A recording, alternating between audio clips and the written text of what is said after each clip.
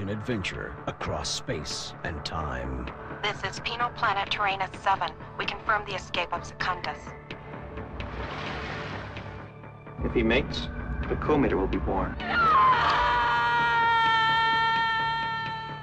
The boy may be capable of unconsciously computing the anti-life equation. Have you sent a finder after him? I sent Abraxas. He's a cub whose beat spans two galaxies. Abraxas. Can Abraxas stop the renegade? Abraxas can handle it. He's brought Secundus in before. His presence is causing a problem with the students. My son is normal.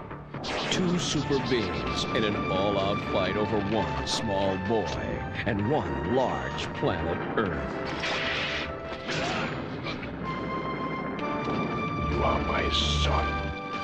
Their fight will decide our fate. Abraxas.